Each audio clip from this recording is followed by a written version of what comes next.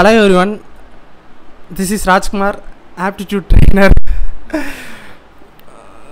so என்னாச்சு okay sir start பண்ணலாமா? So good evening good evening hello sir hello sir so எல்லோரும் எப்படி இருக்கீங்க? ஸோ ரொம்ப நாளாச்சு எல்லாரையுமே பார்த்து. ஸோ எல்லோரும் நல்லா இருப்பீங்கன்னு நினைக்கிறேன். லாக்டவுன் நேராக போட்டிருக்காங்க. ஸோ எல்லாருமே வந்து சேஃபாக வீட்டிலே இருங்க. So Sanjeev brother Jenny John Jackie cool Priya so எல்லாருக்குமே good evening good evening good evening good evening Ammu Rajesh Kannan. Bro DK எப்போ ஈரோடு போனீங்க? We are wait sir thank you thank you பரவாயில்ல. இவ்வளோ நாள் கழித்து வந்தாலும் நமக்கு சப்போர்ட் பண்ணுறீங்க அது உங்கள் எல்லாருக்குமே ரொம்ப தேங்க்ஸ் மிகப்பெரிய தேங்க்ஸ் எல்லாருக்குமே. பிரசாந்த் ஸோ ஸ்டார்ட் பண்ணலாமா? ஸோ நம்ம செஷனுக்குள்ளே போகலாமா ஸோ இப்போ என்ன பார்க்க போகிறோம் அப்படின்னா அதாவது நம்ம மெயின்ஸ் லெவலில் அப்ளிகேஷன் சம்ஸ் எப்படி அப்படிங்கிறது பார்க்கலாம். ஸோ வந்து நான் நான் இப்போ ஸ்டார்டிங்லேயே நான் உங்களுக்கு ஒன்று சொல்லிடுறேன். பேசிக் மெத்தட் நார்மல் மெத்தட் வேணும் அப்படின்னா ப்ளீஸ் என்கிட்ட கேட்காதீங்க. முடிஞ்ச அளவுக்கு எனக்கு தெரிஞ்ச அளவுக்கு நான் சொல்கிறேன் ஆனால் கண்டிப்பாக நம்ம வேறு விதமாக ஒன்றும் ஆப்ஷன்லேருந்து நம்ம கொஞ்சம் டிஃப்ரெண்ட்டாக அப்ரோச் பண்ணலாம். ஆனால் பேசிக் மெத்தட் மட்டும் வேணும்னு கண்டிப்பாக என்கிட்ட கேட்டாதீங்க. முடிஞ்ச அளவுக்கு எனக்கு தெரிஞ்ச நான் சொல்லிடுறேன். ஸோ செஷன் ஸ்டார்ட் பண்ணிடலாம். ஸோ உங்களுக்கான ஃபஸ்ட் கொஷின் பாருங்கள் ஸோ அதுக்கு முன்னாடி நம்ம டெலகிராம் சேனல் இருக்குது. So CA fund discussion group இருக்குது ஸோ டெலகிராம் லிங்க் நமக்கு வீடியோ கீழே இருக்கும். ஸோ ஃபஸ்ட் ஜாயின் ஆகாதவங்க அதில் போய் join ஆகிக்கோங்க so next so mark and ஸ்பெ spreadsheet பார்த்தீங்கன்னா நம்ம லிவின் சாரோட புது இனிஷியேட்டிவ் ஸோ நம்ம ஆதி காலத்துலேருந்து போட்டிருக்கோம். ஆனால் முதல்ல எல்லாருமே ஃபாலோ பண்ணிகிட்டு இருந்து அதை நம்ம குரூப்லாம் சப்மிட் பண்ணிட்டுருந்தோம் பட் இப்போ என்னாச்சுன்னு தெரியல. அது ரொம்ப நாளாக காணாமல் போயிருச்சு. சரி பட் ஆனாலும் இருந்தாலும் இந்த ப்ராக்டிஸ் மட்டும் விட்டுறாதீங்க. நம்ம ஸ்ப்ரெட்ஷீட் எல்லாமே கண்டிப்பாக மெயின்ஸ் வரும்போது டெஃபினட்டாக ஃபாலோ பண்ணிக்கலாம். பட் ஆனால் இப்போ அந்த ப்ராக்டிஸ் மட்டும் விட்டுறாதீங்க. ஸோ நெக்ஸ்ட்டு பார்த்தீங்கன்னா out to score fifty fifteen current affairs so அதுக்கு வந்து சார் வீடியோ போட்டிருக்காரு. அது பார்த்தீங்கன்னா மேலே நம்ம ஐ பட்டனில் வரும். அதை பார்த்துக்கோங்க ஸோ நெக்ஸ்ட்டு பார்த்தீங்க அப்படின்னா என்ன? இந்த ஸ்லைடு எதுக்கு நானும் நிறைய டைம் அவர்கிட்ட கேட்டுட்டு ஆனால் அவரும் பார்த்தீங்கன்னா அது ஒரு பழக்கம் ஆயிடுச்சுடா அப்படின்னு வச்சுக்கிட்டே இருக்காரு. ஸோ அது வரும்போது எக்ஸாம் வரும்போது மெயின்ஸுக்கு பார்த்துக்கலாம் ஸோ அடுத்து என்ன அப்படின்னு பார்த்தீங்கன்னா அடுத்த ஸ்லைடு போடும் ஸோ இப்போ அவர் டார்கெட் வந்து பார்த்தீங்கன்னா ஃபார்ட்டி ஃபைவ் ப்ளஸ் அவர் சார் சொல்லியிருக்காரு. ஸோ மெயினாக இந்த டைமில் வந்து லாக்டவுன் டைமில் நம்ம என்ன ப்ரிப்பேர் பண்ணணும் அப்படின்னா கரண்ட் அஃபேர்ஸ் விட்டுறாதீங்க. டெய்லி டெய்லியுமே படிச்சிருங்க. எப்போதுமே வந்து நம்ம மெயின்ஸ் வந்தோடனே அந்த சிக்ஸ் மந்த்ஸ் கரண்ட் அஃபேர்ஸ் தான் மெயினாக ஃபோக்கஸ் பண்ணுவோம். பட் இப்போ நமக்கு டெய்லிக்குமே நிறைய டைம் இருக்குது ஸோ அது பார்த்துக்கோங்க ஸோ இப்போ உங்களுக்கான ஃபஸ்ட் சம் வந்துருச்சு. ஸோ இதுதான் ஃபஸ்ட் செம்மு ஸோ இதை நீங்கள் ட்ரை பண்ணுங்கள் உங்களுக்கான டைம் பார்த்தீங்க அப்படின்னா ஒரு நிமிஷம். ஸோ நீங்கள் ட்ரை பண்ணுங்கள் ஆப்ஷன் அச்சமாக இருந்துச்சு. ஸோ உங்களுக்கு ஆப்ஷன் இருக்கும் பாருங்க. பரவாயில்ல. பிரதர் சல்மா ஆரம்பிச்சிருச்சு பிரதர் சால்வ் பண்ணுங்க. ஸோ என்ன கொடுத்துருக்காங்க அப்படின்னு நான் சொல்லிடுறேன். நீங்கள் சால்வ் பண்ணுங்கள் இப்போ என்னென்னா இன்கம் அண்ட் சேவிங்ஸ் பி வந்து கியூவை விட மூவாயிரம் அதிகமாக இருக்குது அதாவது கியூவோட இன்கம் இன்கமோடவும் பியோட இன்கம் மூவாயிரம் அதிகம். சேவிங்ஸும் கியூவோட மூவாயிரம் அதிகம் அப்படிங்கிறாங்க. இப்போ டோட்டல் எக்ஸ்பெண்டிச்சர் வந்து எயிட்டீன் தௌசண்ட் அப்படின்னு கொடுத்துருக்காங்க. அப்படின்னா வந்து எக்ஸ்பெண்டிச்சர் ஆஃப் பி என்ன அப்படின்னு கேட்குறாங்க ஸோ நீங்கள் சால்வ் பண்ணுங்கள் ஸோ நிறைய பேர் ஆன்சர் போட ஆரம்பிச்சிட்டாங்க. ஆப்ஷன் சி சி அப்படின்னு. Nine K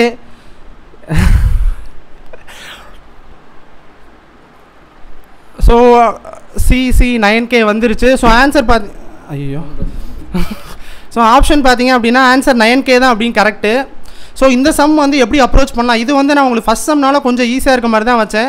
பட் இந்த சம் அப்படின்னா நீங்கள் பார்த்தே சொல்லிடலாம். எதுவுமே நமக்கு தேவையில்லை. அதாவது பென் அண்ட் பேப்பரோ இல்லை யோசிக்கணுமோ எதுவுமே இல்லை. ஜஸ்ட்டு பார்த்தோன்னே சொல்லிடலாம் ஆன்சர் நைன் கே அப்படின்னு. ஸோ இப்போ நமக்கு என்ன சொல்லியிருக்காங்க அப்படின்னா பி பட்டன் ஆமாம் ஆமாம் ஸோ பின்னு ஒருத்தவங்க சொல்லியிருக்காங்க. க்யூ அப்படின்னு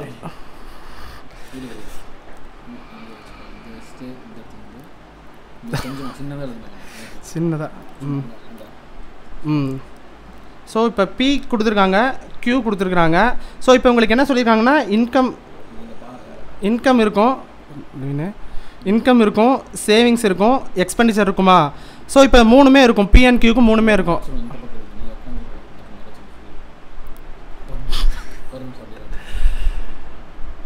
என்னை வச்சு எதுவும் ட்ரை பண்ணலையேக்கா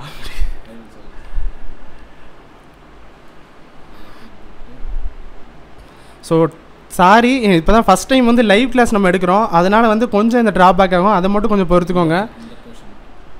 இந்த போர்ஷன் ஓகேவா இன்னும் கொஞ்சம். ஓகேவா ஸோ பி அது பி தான் அது மக்களே. அது சாரி எதுவும் தப்பாக எடுத்துக்காதீங்க. ஐயோ க்யூ எங்கேயோ போகுது. ஸோ இதுதான் வந்து க்யூ ஸோ இது இன்கம் இருக்கும். ஒவ்வொருத்தருக்கும் சேவிங்ஸ் இருக்கும். எக்ஸ்பெண்டிச்சர் இருக்குமா? ஸோ இதோட டோட்டல் வந்து நமக்கு எயிட்டீன் கே கொடுத்துட்டான். ஐயோ எயிட்டீன் கே அப்படின்னு கொடுத்துட்டாங்க. இப்போ என்ன சொல்லியிருக்காங்கன்னா இன்கம் வந்து இன்கமும் சேவிங்ஸும் வந்து க்யூவோட பி வந்து த்ரீ தௌசண்ட் அதிகம் அப்படின்னு சொல்லிட்டாங்க. ஸோ இப்போ வந்து நமக்கு வந்து எக்ஸ்பெண்டிச்சர் அப்படி தானே கேட்டிருக்காங்க. ஸோ இப்போ நமக்கு என்ன என்ன வரும் அப்படின்னு பார்த்தீங்கன்னா ஸோ இன்கம்மை விட இவரோட இன்கம் மூவாயிரம் அதிகம் நமக்கு தெரியும். அந்த மூவாயிரத்தையும் என்ன பண்ணுறாங்க அப்படின்னா அவர் சேவிங்ஸை வச்சு அதை டேலி பண்ணிடுறாரு. கண்டிப்பாக அதாவது பிஏ விட கியூ வந்து மூவாயிரம் சேவிங்ஸ் அதிகம் சாரி இன்கம் அதிகம். இவர் பத்தாயிரம் அப்படின்னா அவர் பதிமூணாயிரம். கரெக்டாக ஸோ அப்படிங்கிற பட்சத்தில் இவர் ஒரு ரெண்டாயிரம் சேவ் பண்ணுறாரு அப்படின்னா இவர் எவ்வளோ சேவ் பண்ணுவார்னா ஐயாயிரம் சேவ் பண்ணுவார். அதாவது இவர் இன்கமில் இருக்கக்கூடிய அமௌண்ட்டை இவர் சேவிங்ஸ் வச்சு டேலி பண்ணிடுறாரு. அப்போ ஆப்வியஸ்லி என்னவா இருக்குன்னா கண்டிப்பாக எக்ஸ்பெண்டிச்சர் வந்து ரெண்டு பேருக்கும் ஈக்குவலாக தான் இருக்கும். ஸோ நமக்கு என்ன கொடுத்துருக்காங்க அப்படின்னா டோட்டல் எக்ஸ்பெண்டிச்சர் எயிட்டீன் தௌசண்ட் அப்படின்னு கொடுத்துருக்காங்க அப்போ கண்டிப்பாக ஈச் எக்ஸ்பெண்டிச்சர் என்னவா இருக்கும்னா ரெண்டு பேருக்குமே ஈக்குவலாக நைன் தௌசண்ட் நைன் தௌசண்ட் தான் இருக்கும். ஸோ ஆன்சர் வந்து பார்த்தீங்க அப்படின்னா நைன் தௌசண்ட் தான் வரும். ஸோ இந்த சம்முக்கு வந்து நம்ம பெருசாக எழுதி சொல்லணும்னு தேவையில்லை. ஸோ உங்களுக்கு கொஷின் புரிஞ்சுதா? இப்போ நான் சொன்ன கான்செப்ட் புரிஞ்சுதா இல்லையா? அது மட்டும் எனக்கு சொல்லுங்கள் அப்படி இல்லாட்டி சொல்லுங்கள் அதாவது ரெண்டு பேர் இருக்காங்க. ஒருத்தர் எக்ஸ்பெண்டிச்சர் வந்து இன்னொருத்தரோட மூவாயிரம் அதிகம் அப்படின்னு சொல்லிட்டாங்க. மென்டி எப்போ சார்னு கேட்குறீங்க மென்டி வந்து பார்த்தீங்கன்னா CA Menti night nine o'clock இருக்குது எட்டு மணிக்கு நம்ம டெஃபினட்டாக எம்பிஎல் இருக்குது ஸோ இப்போ இந்த சம்க்கான கான்செப்ட் சொல்கிறேன் அது மட்டும் புரியுதான்னு பாருங்கள் ரெண்டு பேர் இருக்காங்க பிக்யூ ஸோ பி வந்து கியூவோட மூவாயிரம் இன்கம் அதிகங்கிறான் அந்த மூவாயிரம் அதிகமாக இருக்க இன்கமையும் அவன் சேவிங்ஸ்லேயே வந்து ஈக்குவல் பண்ணிடுறான். கியூவை விட பி மூவாயிரம் சேவிங்ஸ்லேயே வந்து ஈக்குவல் பண்ணிடுறான். ஸோ அப்படிங்கிற பட்சத்தில் ரெண்டு பேருக்குமே நமக்கு ஈக்குவல் எக்ஸ்பெண்டிச்சர் தான் இருக்கும். ஸோ ஆன்சர் வந்து பார்த்தீங்கன்னா நமக்கு நைன் தௌசண்ட் நைன் தௌசண்ட் தான் இருக்கும். புரிஞ்சுதா இப்போ? So once more once more அப்படின்னு கேட்குறீங்க இப்போ சொன்னது புரிஞ்சுதா? இல்லை இன்னொரு தடவை சொல்லணுமா? எழுதி. எழுத வரமாட்டேங்குது சரியா? ஒரு தடவை ட்ரை பண்ணலாம் நீ வேணா எழுதுறியா? ஆ ஓகே. இந்த மவுஸ் எடுத்துக்க. ம் பிக்யூவா ஓகே. இதுக்கு எழுதவே தேவையில்லை. பரவாயில்ல. இல்லை இது எப்படி ஈக்குவல் அப்படிங்க? அதாம்மா இப்போ வந்து நம்ம உங்களுக்கு வேல்யூ வச்சு சொல்கிறேன் அது புரியுதான்னு பாருங்கள் பியோட சேலரி வந்து பத்தாயிரம். ஓகேவா கியூவோட சேலரி வந்து என்ன சொல்லியிருக்காங்க? சாரி கியூவோட சேலரி பத்தாயிரம் அப்படின்னு வச்சுக்கிட்டா என்ன சொல்லியிருக்காங்கன்னா பியோடது வந்து கியூவோட இன்கமோட மூவாயிரம் அதிகமாக அப்போ கியூக்கு என்ன வரும்? பதிமூணாயிரம் வரும். ஸோ பத்தாயிரம் பதிமூணாயிரம் இன்கம் ஸோ அடுத்து என்ன சொல்லியிருக்காங்கன்னா சேவிங்ஸ் மூவாயிரம் அதிகம்னு சொல்லியிருக்காங்க. அப்போ கியூ வந்து ஒரு ஆயிரம் சேவ் பண்ணுறோம் அப்படின்னு வச்சுக்கிட்டா பி எவ்வளோ சேவ் பண்ணுறோம் நாலாயிரம் சேவ் பண்ணுவோம் கரெக்டாக ஸோ அப்போ பியோட இன்கம் வந்து பதிமூணாயிரம் அவனோட சேவிங்ஸ் வந்து நாலாயிரம்னா எக்ஸ்பெண்டிச்சர் எவ்வளோ இருக்கும்? ஒம்பதாயிரம் இருக்கும். ஸோ இப்போ அதே மாதிரி கியூவோட இன்கம் பத்தாயிரம் கியூவோட சேவிங்ஸ் வந்து ஆயிரம் அப்படின்னா அவனோட எக்ஸ்பெண்டிச்சர் என்னவாக இருக்கும்? நைன் கே இருக்கும். ஸோ அப்படிங்கிற பட்சத்தில் எக்ஸ்பெண்டிச்சர் ரெண்டு ஈக்குவலாக இருக்கும். ஒன்றும் இல்லை ரெண்டு பேருக்கு உள்ள இருக்கக்கூடிய இன்கம் டிஃப்ரென்ஸை அவன் சேவிங்ஸ் வச்சே ஓவர்டேக் பண்ணிட்டான் அப்படின்னா ரெண்டு பேருக்கும் பார்த்தீங்கன்னா நமக்கு ஈக்குவல் எக்ஸ்பெண்டிச்சர் தான் இருக்கும். தண்ணி இப்போ.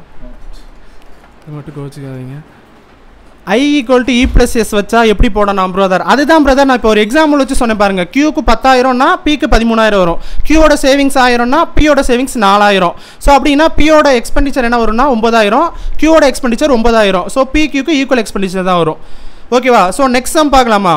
ஸோ உங்களுக்கான நெக்ஸ்ட் சம் பாருங்க. ஸோ நெக்ஸ்ட் சம் கொடுத்துட்டேன். ஸோ நெக்ஸ்ட் சம் என்ன சொல்லியிருக்காங்கன்னு புரியுதா? நெக்ஸ்ட் சம் வந்து சிஐக்கும் எஸ்ஐக்கும் டிஃப்ரென்ஸ் கொடுத்துருக்காங்க ஒன்றரை வருஷத்துக்கு. ஸோ ரேட் ஆஃப் இன்ட்ரெஸ்ட் வந்து twenty two two by nine percentage அப்படின்னு கொடுத்துருக்காங்க. ஸோ அந்த டிஃப்ரென்ஸ் வேல்யூ வந்து ஃபைவ் தௌசண்ட் சிக்ஸ் ஹண்ட்ரட் கொடுத்துட்டாங்க அப்படின்னா ரெண்டு ஒரு வருஷத்துக்கு சிஐக்கும் எஸ்ஐக்கும் இருக்கக்கூடிய டிஃப்ரென்ஸ் என்னன்னு கேட்குறாங்க சூப்பர் சார் கிளியர் தேங்க்யூம்மா தேங்க்யூ ஸோ இப்போ இந்த சம் ட்ரை பண்ணுங்கள் உங்களுக்கான நீங்கள் ஃபஸ்ட்டு ஒரு நிமிஷம் எடுத்து ட்ரை பண்ணுங்கள்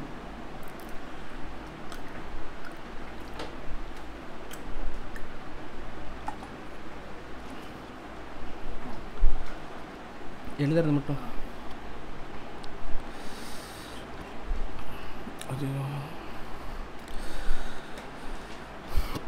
ஸோ நிறைய பேர் ஒருத்தர் வந்து ஆயிரத்தி எட்நூறு அப்படின்னு போட்டிருக்கீங்க இன்னொருத்தவங்க வந்து ரெண்டாயிரத்தி எழுநூறு அப்படின்னு போட்டிருக்கீங்க.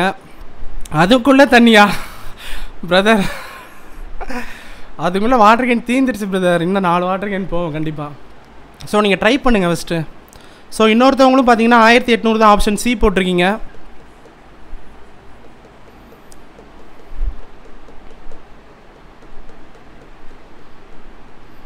ஸோ நம்ம எப்படின்னு பார்க்கலாமா? ஸோ உங்களுக்கான டைம் முடிஞ்சு ஸோ நம்ம எப்படின்னு பார்க்கலாம்? ஆன்சர் வந்து பார்த்தீங்கன்னா அவங்க போட்டது தான் கரெக்ட் சுபாஷ் ராகவ் அண்ட் அஸ்வின் அவினாஸ் அவங்க போட்டிருக்காங்கல்ல தௌசண்ட் எயிட் ஹண்ட்ரட் அதுதான் வந்து கரெக்டான ஆன்சர் ஸோ இப்போ நமக்கு என்ன சொல்லியிருக்காங்கன்னா ரேட் ஆஃப் இன்ட்ரெஸ்ட் வந்து டுவெண்ட்டி டூ அதாவது இன்ட்ரெஸ்ட் வந்து twenty two two by nine percentage கொடுத்துருக்காங்க பர் இயருக்கு கொடுத்துருக்காங்க. ஐ எம் இன் வீக்கென்சி அண்ட் பிரச்சனை இல்லை பிரச்சனை இல்லை. ஸோ வீக்காக இருந்தாலும் ஜஸ்ட் இந்த ஒரு சம் எக்ஸ்பிளைன் பண்ணுறேன் அது உங்களுக்கு புரியுதான்னு பாருங்கள் இதை வச்சே நம்ம எக்ஸ்பிளைன் பண்ணிக்கலாம். டே பென் மட்டும் நீ தயவு செஞ்சு யூஸ் பண்ணுறியா ப்ளீஸ் ஏன்னா அது வர மாட்டேங்குது ஸோ இப்போ ரேட் ஆஃப் இன்ட்ரெஸ்ட் வந்து நமக்கு twenty two two by nine percentage கொடுத்துருக்காங்களா? ஆனால் நமக்கு என்ன சொல்லியிருக்காங்கன்னா காம்பவுண்டட் ஆஃப் இயர்லி அப்படின்னு கொடுத்துருக்காங்க. ஸோ இப்போ நமக்கு ஆஃப் இயர்லி இருந்தால் என்ன பண்ணுவோம்னா ரேட் ஆஃப் இன்ட்ரெஸ்ட்டை ரெண்டால் டிவைட் பண்ணுவோம். இதே வந்து ஃபோர் மந்த்ஸ் அப்படின்னு கொடுத்துருந்தாங்கன்னா ரேட் ஆஃப் இன்ட்ரெஸ்ட்டை த்ரீ ஆல் டிவைட் பண்ணுவோம். இதே வந்து த்ரீ மந்த்ஸ் கொடுத்துருக்காங்க அப்படின்னா ரேட் ஆஃப் இன்ட்ரெஸ்ட்டை ஃபோர் ஆல் டிவைட் பண்ணுவோம். ஸோ இப்போ வந்து நமக்கு ஆஃப் இயர்லி அப்படின்னு கொடுத்துருக்காங்க. அப்போ ரேட் ஆஃப் இன்ட்ரெஸ்ட்டை டூ ஆர் டிவைட் பண்ணால் நமக்கு எவ்வளோ இன்ட்ரெஸ்ட் வரும்னா eleven one by nine percentage அப்படின்னு வரும். ஸோ இப்போ வந்து ரேட் ஆஃப் இன்ட்ரெஸ்ட் வந்து eleven one by nine percentage கரெக்டாக ஸோ இப்போ இதை வந்து நம்ம ஈக்குவலன் ஃப்ராக்ஷனை மாற்றினா நமக்கு என்ன வரும்னா ஒன் பை நைன் அப்படின்னு வரும். ஸோ லெவன் ஒன் பை நைனா ஃப்ராக்ஷனை மாற்றினா நமக்கு ஒன் பை நைன் வரும். அதாவது ஒன் பை நைனா ஒன்றும் இல்லை ஒம்பது ரூபா பிரின்சிபல் இருக்குன்னா ஒரு ரூபா இன்ட்ரெஸ்ட்டாக வரும். ஸோ அப்படிங்கிற பட்சத்தில் ஒம்பது ரூபா பிரின்சிபல்னா ஒரு ரூபா இன்ட்ரெஸ்ட் ஸோ அப்படின்னா நமக்கு என்னென்னா ஒன்றரை வருஷத்துக்கு கேட்டிருக்காங்க. கரெக்டாக அப்போ ஆறு மாதத்துக்கு தான் வந்து லெவன் ஒன் பை நைன் அப்போ ஒன்றரை வருஷம்னா நம்ம த்ரீ டைம் பண்ணுமா? அப்போ நயன் க்யூப்னு எழுதிக்கலாமா? ஸோ அப்போ நயன் க்யூப் பண்ணால் என்ன வரும்னா செவன் டுவெண்ட்டி நைன் வரும் இங்கே எழுது. ஸோ நயன் க்யூப் வந்து வி கேன் டேக் எஸ் அவங்க சொல்லியிருக்காங்க பாருங்க புவிஜீவை கரெக்டாக சொல்லியிருக்காங்க ஆஃப் இயர்லிக்கு ஒன்றரை வருஷம் கேட்டால் நம்ம மூணு டைம் எடுக்கணும் அப்படிங்கிற மாதிரி. ஸோ அப்போ nine cube seven twenty nine வரும். ஸோ இப்போ செவன் டுவெண்ட்டி நைன்னா ரேட் ஆஃப் இன்ட்ரெஸ்ட் வந்து ஒன் பை நைன் தெரியும். அப்போ என்ன வரும்னா ஃபஸ்ட் வருஷம் எவ்வளோ வரும்னா எயிட்டி ஒன் வரும். இதில் செவன் டுவெண்ட்டி நைனில் ஒன் பை நைன் போட்டோம் அப்படின்னா நமக்கு எயிட்டி ஒன் வரும். பொறுமையாக சொல்லுங்க ப்ரோ கண்டிப்பாக ப்ரோ ஒன்றும் இல்லை ரேட் ஆஃப் இன்ட்ரெஸ்ட் கொடுத்துருக்காங்க twenty two two by nine ஒன்றரை வருஷத்துக்கு டிஃப்ரென்ஸ் வந்து ஃபைவ் தௌசண்ட் சிக்ஸ் ஹண்ட்ரட் கொடுத்துருக்காங்க. இப்போ நமக்கு என்ன கேட்குறாங்கன்னா ஒன் இயருக்கு வந்து எவ்வளோ டிஃப்ரென்ஸ் வரும் அப்படின்னு கேட்குறாங்க ஸோ ரேட் ஆஃப் இன்ட்ரெஸ்ட்ங்கிறது ஒரு வருஷத்துக்கு நமக்கு நல்லா தெரியும். இப்போ நமக்கு ஆஃப் இயர்லி கேட்குறாங்களா அப்படின்னா என்ன பண்ணுவோம்? நம்ம ஆஃப் இயர்லி கேட்டால் ரேட் ஆஃப் இன்ட்ரெஸ்ட்டை டூ ஆர் டிவைட் பண்ணுவோம். அப்போ அதை டூ ஆர் டிவைட் பண்ணால் நமக்கு லெவன் ஒன் பை நைன் அப்படின்னு வரும். அதை ஈக்குவலன் ஃப்ராக்ஷனாக மாற்றினா one by nine seven twenty nine எப்படி அப்படின்னு கேட்குறீங்க இப்போ நம்ம ஃப்ராக்ஷனாக மாற்றினா ஒன் பை நைன் வருமா? ஸோ இப்போ நமக்கு ஒன்றரை வருஷம்னா எத்தனை? கிட்டத்தட்ட த்ரீ டைம்ஸ் பண்ணணும். கரெக்டாக ஆஃப் இயர்லி ரெண்டாவது ஒரு ஆஃப் இயர்லி மூணாவது ஒரு ஆஃப் இயர்லி பண்ணால் தான் ஒன் பை நைன் சாரி மூணு டைம் வரும். ஸோ அப்படிங்கிற பட்சத்தினால தான் நம்ம நயன் கியூப் எடுக்கணும். நயன் கியூப்னா செவன் டுவெண்ட்டி நைன் வரும். ஸோ இப்போ செவன் டுவெண்ட்டி நைன் தெரிஞ்சிருச்சு. ஸோ இப்போ இதுலேருந்து நம்ம இன்ட்ரெஸ்ட் கால்குலேட் பண்ணலாமா? இன்ட்ரெஸ்ட் பண்ணால் இதில் ஒன் பை நைன் என்ன வரும்னா எயிட்டி ஒன் வரும் செவன் டுவெண்ட்டி நைன்னா ஒன் பை நைன்னா ஃபஸ்ட் வருஷம் எயிட்டி ஒன் வரும். One by nine equal to eighty one இதெல்லாம் எரேஸ் பண்ணிடுங்க. ஸோ எயிட்டி ஒன் வந்துடும் மகா பிரபு நீங்கள் இங்கேயும் வந்துட்டிங்களா?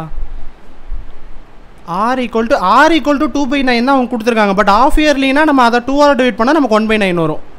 ஸோ இப்போ எயிட்டி ஒன் வருமா? எயிட்டி ஒன்ங்கிறது மூணு வருஷத்துக்கு காமனாக வரக்கூடிய சிம்பிள் இன்ட்ரெஸ்ட் அது மூணு எயிட்டி ஒன் எழுதிரு. சாரி இது ஒன்று மட்டும் தயவு செஞ்சு கொஞ்சம் அட்ஜஸ்ட் அட்ஜஸ்ட் பண்ணிக்கோங்க. ஏன்னா இந்த பெண்ணில் எழுதுறது மட்டும் நமக்கு இனிஷியலாக கொஞ்சம் வர மாட்டேங்குது eighty one eighty one eighty one வருமா மூணு வருஷத்துக்கு. இது வந்து சிம்பிள் இன்ட்ரெஸ்ட்னா நம்ம எயிட்டி ஒன் அப்படியே வச்சிடலாம். நமக்கு காம்பவுண்ட் இன்ட்ரெஸ்ட் கேட்குறாங்க ஸோ அப்படின்னா என்ன வரும்? ஃபஸ்ட் இயரில் வரக்கூடிய இன்ட்ரெஸ்ட்க்கு ஒரு இன்ட்ரெஸ்ட் வரும். அப்போ எயிட்டி ஒன் ஒன் பை நைன்னா நைன் வரும். நைன் நைன் கரெக்டாக ஸோ மூணு வருஷத்துக்கு சிம்பிள் இன்ட்ரெஸ்ட் எயிட் ஒன் வரும். அப்போ காம்பவுண்ட் இன்ட்ரெஸ்ட்னா இன்ட்ரெஸ்ட்க்கு ஒரு இன்ட்ரெஸ்ட்டு ஸோ நயன் நயன் அப்படின்னு வரும். ஸோ இப்போ என்ன பண்ணோம்? இப்போ தேர்ட் இப்போ செகண்ட் வருஷத்துக்கு இந்த நயனோட முடிஞ்சிடும் தேர்ட் வருஷத்துக்கு என்ன வரும்னா இந்த நயனுக்கு ஒரு நயன் வருமா? அதாவது இந்த எயிட்டி ஒனுக்கு ஒரு நயன் வரும். இன்னொரு நயன் போடும் ஸோ அப்புறம் இந்த ஒம்பது ரூபா செகண்ட் இயரில் வரக்கூடிய இன்ட்ரெஸ்ட் ஒம்பது ரூபா அதுக்கு ஒரு ஒன் பை நைன்னா ஒரு ஒரு ரூபா வரும். கரெக்டாக ஒரு ரூபா போட்டியா? ஸோ இப்போ இதுதான் வந்து மூணு வருஷத்துக்கான உங்களுக்கு இன்ட்ரெஸ்ட் ஸ்ட்ரக்சர் இருக்கும். அதாவது மூணு எயிட்டி ஒன்ங்கிறது வெறும் சிம்பிள் இன்ட்ரெஸ்ட் மட்டும்தான். இப்போ எவ்வளோ எக்ஸ்ட்ரா இருக்குன்னு பாருங்கள் ஒம்பது ரூபா ஒம்பது ரூபா ஒம்பது ரூபா ஒரு ரூபா. மொத்தம் இருபத்தெட்டு ரூபா எக்ஸ்ட்ரா இருக்குது இதுதான் வந்து மூணு வருஷத்துக்கு சிஐக்கும் எஸ் எஸ்ஐக்கும் உள்ள டிஃப்ரென்ஸு மூணு வருஷம் சிஐக்கும் எஸ்ஐக்கும் உள்ள டிஃப்ரென்ஸு இந்த இருபத்தெட்டு பார்ட்டு தான் ஐயாயிரத்தி அறநூறு.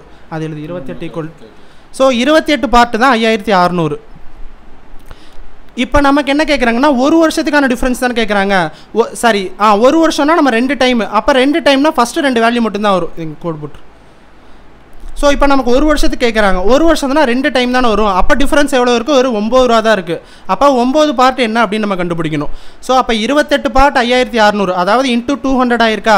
அப்போ ஒம்பது பார்ட்டை இன்ட்டு டூ ஹண்ட்ரட் பண்ணால் நமக்கு தௌசண்ட் எயிட் ஹண்ட்ரட் வரும். ஸோ ஆன்சர் பார்த்தீங்கன்னா தௌசண்ட் எயிட் ஹண்ட்ரட் தான் நமக்கான டிஃப்ரென்ஸ் ஒரு வருஷத்துக்கு. புரிஞ்சுதா இப்போ சொன்னது? டுவெண்ட்டி எயிட் எப்படி ப்ரோ அப்படின்னு கேட்குறீங்க ஒன்றும் இல்லை.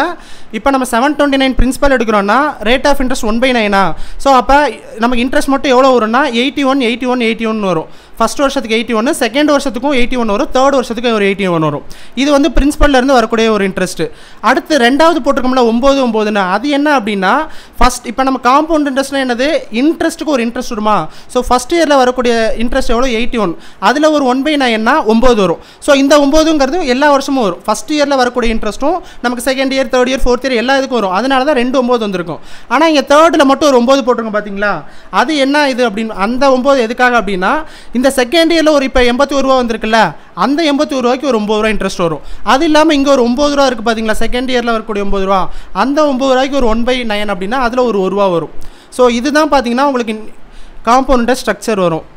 ஸோ அப்படின்னால இப்போ நமக்கு டோட்டலாக வந்து எஸ்ஐனா எவ்வளோ வரும்னா மூணு எயிட்டி ஒன் மட்டும் வரும். சிஐங்கிறது எவ்வளோ இந்த எக்ஸ்ட்ரா இருக்க டுவெண்ட்டி எயிட் பார்ட்ஸ் தான். Nine plus nine plus nine plus one தான் டுவெண்ட்டி எயிட் ஸோ அந்த டுவெண்ட்டி எயிட் பார்ட் தான் ஃபைவ் தௌசண்ட் சிக்ஸ் ஹண்ட்ரட் அப்படின்னா நமக்கு ஒரு வருஷத்துக்கான டிஃப்ரென்ஸ் கேட்குறாங்க ஒரு வருஷத்துனா நமக்கு வெறும் ஒம்பது ரூபா மட்டும் தான் டிஃப்ரென்ஸு அப்போ twenty eight part five thousand six ஹண்ட்ரட்னா nine parts எவ்வளோ வரும்? So twenty eight into two ஹண்ட்ரடா அப்போ நயன் இன்ட்டு டூ ஹண்ட்ரட் பண்ணால் தௌசண்ட் எயிட் ஹண்ட்ரட் அப்படின்னு வரும். ஸோ இப்போ புரிஞ்சுதா? ஸோ இப்போ புரிஞ்சுதா? சொல்லுங்கள்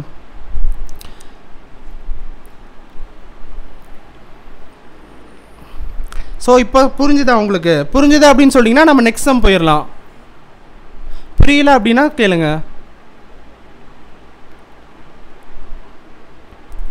Thank you thank you so நம்ம நெக்ஸ்ட் சம் பார்க்கலாமா? ஸோ உங்களுக்கான நெக்ஸ்ட் சம் பாருங்கள்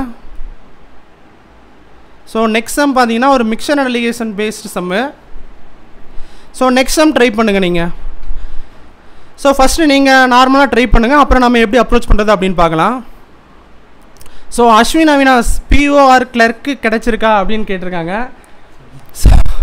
ஸோ பிஓ கிளர்க் கிடச்சிருக்கான்னு கேட்குறீங்க ஸோ கிளர்க்கில் வந்து பார்த்தீங்கன்னா நமக்கு ஒரு ரெண்டு மார்க்கில் மிஸ் ஆயிடுச்சு ப்ரோ அது ஒன்றும் பிரச்சனை இல்லை. நம்ம நெக்ஸ்ட் டைம் பார்த்துக்கலாம் குவான்ஸ்க்கு அதை நம்ம கடைசியாக கண்டிப்பாக சொல்லிடலாம்.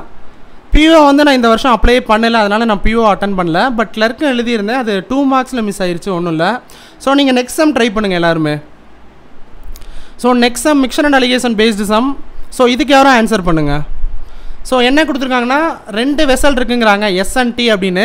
ரெண்டு வெசல்லையும் மிக் மில்க் அண்ட் வாட்டர் இருக்குது அப்படின்னு சொல்லியிருக்காங்க. ஃபஸ்ட்டு வெசலில் மில்க்குக்கும் வாட்டருக்கும் இருக்க ரேஷியோ செவன் இஸ்ட் ஃபைவ் அப்படின்னு சொல்லியிருக்காங்க. அடுத்த ரெண்டாவது வெசலில் மில்க்குக்கும் வாட்டருக்கும் இருக்க ரேஷியோ எயிட் இஸ்ட் ஃபைவ் அப்படிங்கிறாங்க. இப்போ எஸ்ஸுங்கிற வெசல்லேருந்து டி லிட்டர் ஆஃப் மிக்சர் எடுக்கிறாங்க. டீங்கிற வெசல்லேருந்து யூ லிட்டர் ஆஃப் மிக்சர் எடுக்கிறாங்க. சாரி சாரி எஸ்ஸுங்கிற வெசல்லேருந்து சி லிட்டர் ஆஃப் மிக்சர் எடுக்கிறாங்க. டீங்கிற வெசல்லேருந்து டி லிட்டர் ஆஃப் மிக்சர் எடுக்கிறாங்க. இப்போ எடுத்த ரெண்டு மிக்சரையும் சேர்த்து யூங்கிற மிக்சராக க்ரியேட் பண்ணுறாங்க ஸோ இப்போ யூங்கிற மிக்சரில் வந்து டோட்டல் ஒன் ஃபிஃப்டி லிட்டர்ஸ் இருக்குங்கிறாங்க. அதில் ஃபார்ட்டி பர்சன்டேஜ் வாட்டர் இருக்குது அப்படின்னா சிக்கும் டிக்கும் இருக்கக்கூடிய ரேஷியோ என்னன்னு கேட்குறாங்க ஸோ உங்களுக்கான ஆப்ஷன்ஸ் இருக்குது ஸோ நீங்கள் ட்ரை பண்ணி சொல்லுங்கள்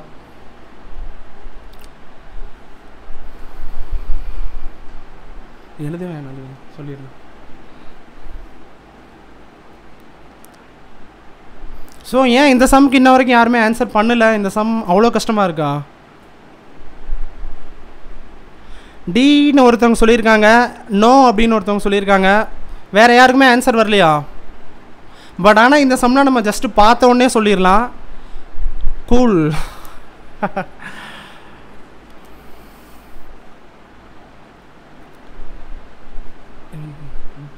தண்ணி பாட்டில் பென்சில் அது குடிக்கிறது அதை எடுத்து நீங்களே சொல்லிடுங்க சார் அப்படிங்கிறாங்க. நீங்கள் ட்ரை பண்ணுங்கள் ஃபஸ்ட்டு நான் கண்டிப்பாக நம்ம சொல்ல தான் போகிறோம்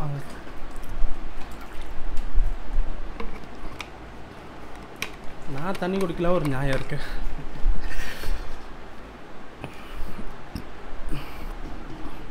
நீங்கள் எக்ஸ்பிளைன் பண்ணுங்க சார். நீங்கள் ஏதோ ட்ரை பண்ணுங்க மேடம் அருண் ஷர்மி அஸ்வின் குமார். ஸோ இனிமேல் நம்ம கண்டிப்பாக ரெகுலராக கிளாஸஸ் பார்க்கலாம். இனிமேல் சீக்கிரமே. ஸோ யாருமே ஆன்சர் பண்ணலையா? ஒரே ஒருத்தவங்க மட்டும்தான் டி அப்படின்னு சலீம் கான் பண்ணியிருக்காங்க. இ அப்படின்னு ஒருத்தவங்க நன் ஆஃப் தீஸ் அப்படின்னு ஜனனிகுமார் அப்படின்னு ஒருத்தவங்க பண்ணியிருக்காங்க. ஸோ ஆன்சர் அப்படின்னு என்ன பார்த்தீங்கன்னா ஸோ நம்மளே சொல்லிடலாம். ஹவு டுவெண்ட்டி எயிட்டா டுவெண்ட்டி எயிட் ஓ அது போன சமுக்கு டுவெண்ட்டி எயிட் எப்படின்னு கேட்குறீங்களா? அது கொஞ்சம் வீடியோ நீங்கள் ரீவைண்ட் பண்ணி பாருங்கள் கண்டிப்பாக உங்களுக்கு புரியும். சி அப்படின்னு ஒருத்தவங்க லெவன் பை தேர்ட்டின்னு ஒருத்தவங்க சொல்லியிருக்காங்க. சஞ்சீவ் அவர் வந்து டுவெல் பை தேர்ட்டின் அப்படின்னு சொல்லியிருக்காங்க. ஸோ நம்ம ஆன்சர் சொல்லிடலாம். ஆன்சர் பார்த்தீங்கன்னா ஆப்ஷன் டி தான் கரெக்ட் ஃபஸ்ட்டே சலீம் கான் போட்டிருந்தாங்களோ அவங்க தான் correct so D by twelve by thirteen தான் ஆன்சர் ஸோ எஸ்ஸில் வந்து செவன் இஸ்டு ஃபைவ் இருக்கா எஸ்ஸுங்கிற மிக்சரில் வந்து செவன் இஸ்டு ஃபைவ் இருக்குது அடுத்தது வந்து டீங்கிற மிக்சரில் வந்து எயிட் இஸ்டு ஃபைவ் இருக்குது ஸோ இப்போ இதிலேருந்து சம்திங் அமௌண்ட்டு இதிலேருந்து சம்திங் அமௌண்ட்டை எடுத்து நமக்கு வந்து யூங்கிற மிக்சர் எடுக்கிறாங்க. அதில் வந்து ஒன் ஃபிஃப்டி லிட்டர்ஸ் இருக்குது அப்படிங்கிறாங்க. ஸோ இதில் வந்து ஃபார்ட்டி பர்சன்டேஜ் வாட்டர் இருக்குன்னா நம்ம ரிமைனிங் சிக்ஸ்டி பர்சன்டேஜ் வந்து மில்க் இருக்குமா? பட் இதை நார்மலாக பண்ணால் இப்போ சார் பண்ணுற மாதிரி நம்ம மிக்சர் அடிகேஷன் வச்செல்லாம் பண்ணலாம். பட் ஆனால் நம்ம இப்படிலாம் பண்ண தேவையில்லை. ஸோ ஃபஸ்ட் இருக்கிற மிக்சரில் வந்து டோட்டல் டுவெல் இருக்குது செவன் ப்ளஸ் ஃபைவ் ரெண்டாவது இருக்கிறதுல total eight plus five thirteen இருக்குது ஸோ கண்டிப்பாக எடுக்கிறது ஃபஸ்ட்லேருந்து டுவெல் மல்டிபிள்ஸ் ஆகும் செகண்ட்லேருந்து தேர்ட்டின் மல்டிபிள்ஸாகவும் இருக்கும். ஸோ அப்போ D C by D ratio டெஃபினட்டாக டுவெல் பை தேர்ட்டின் தான் இருக்கும் நமக்கு. ஸோ ஆன்சர் வந்து ஈஸியாக சொல்லிடலாம் டுவெல் பை தேர்ட்டின் அப்படின்னு.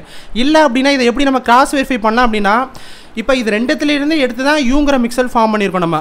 அதோட டோட்டல் குவான்டிட்டி ஒன் ஃபிஃப்டியா ஸோ இப்போ இது ரெண்டையும் சம் பண்ணால் ஒன் ஃபிஃப்டியால் டிவைட் ஆகணும். இப்போ ஃபஸ்ட் ஆப்ஷன் எடுக்கிறோம்னா டுவெல் வரும் சியிலேருந்து எஸ்லேருந்து டுவெல் வரும். டீலேருந்து நைன்டீன் வருமா? டோட்டல் சம் பண்ணால் twelve plus nineteen twenty one அப்போ ஒன் ஃபிஃப்டிங்கிறது டுவெண்ட்டி ஒன்னால் டிவைட் ஆகுமானா டிவைட் ஆகாது. ஸோ செகண்ட் ஆப்ஷன் எடுக்கிறோன்னா டுவெல் செவன்டீன் சம் பண்ணால் டுவெண்ட்டி நைன் வரும். அது ஒன் ஃபிஃப்டியால் டிவைட் ஆகுமானா ஆகாது. லெவன் பை தேர்ட்டிங்கிறது டுவெண்ட்டி ஃபோர்னு வரும். அதுவும் ஒன் ஃபிஃப்டியால் டிவைட் ஆகாது. டுவெல் பை தேர்ட்டின் தான் நமக்கு வந்து டுவெண்ட்டி ஃபைவால் டிவைட் ஆகும்.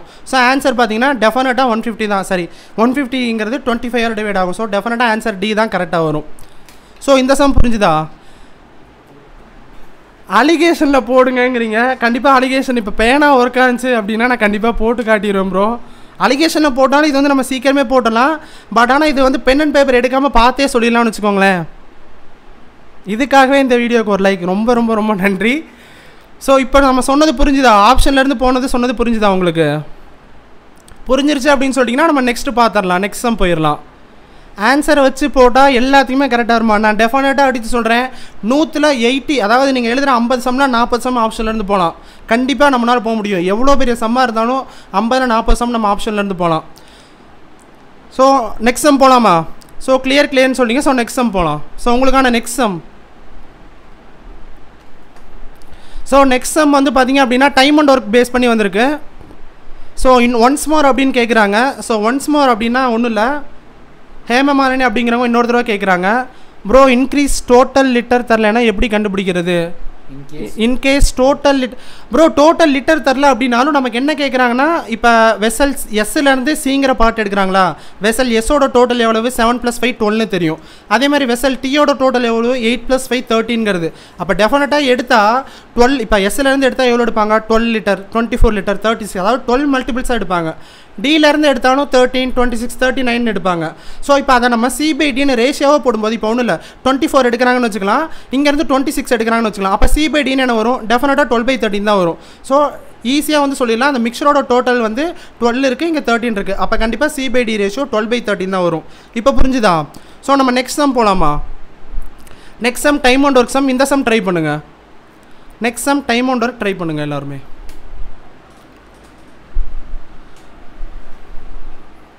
எகெயின்ஸ் ஆர் ஃப்ரம் ஆப்ஷன்ஸ் அது ஒன்றும் இல்லை. ஆப்ஷன் பார்த்தீங்கன்னா நமக்கு எஸ்ஸோட total seven plus five twelve அதுதான் சிஏ டி டிக்கு வந்து பார்த்தீங்கன்னா eight plus five thirteen so அப்போ சிக்கு டுவெல்லு டிக்கு தேர்ட்டீன் அப்போ C by D twelve by thirteen அவ்வளோதான் சியோட எக்ஸாக்ட் வேல்யூ அப்படின்னு வேணும் அப்படின்னா நம்ம கண்டிப்பாக வந்து அந்த மிக்சர் அலிகேஷனில் போட்டோம் அப்படின்னா கண்டிப்பாக எக்ஸாக்ட் வேல்யூ சொல்லலாம்.